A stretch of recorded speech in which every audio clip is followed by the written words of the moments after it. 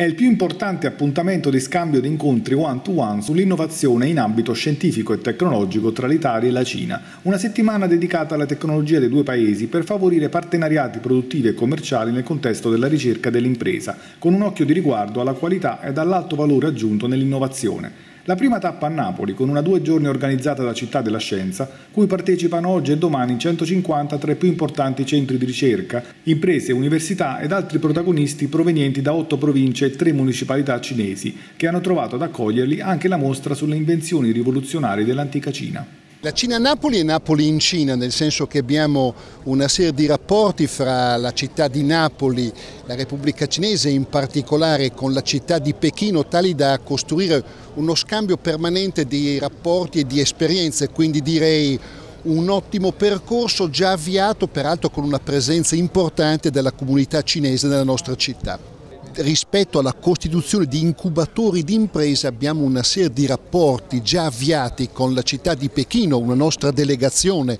circa 15 giorni fa si è recata presso quella città che a mio avviso ci mettono nelle condizioni rapidamente di sottoscrivere un protocollo, prevedere investimenti e insomma mettere piedi su terra ciò che serve per uno scambio reciproco di tecnologie, di esperienze e di investimenti.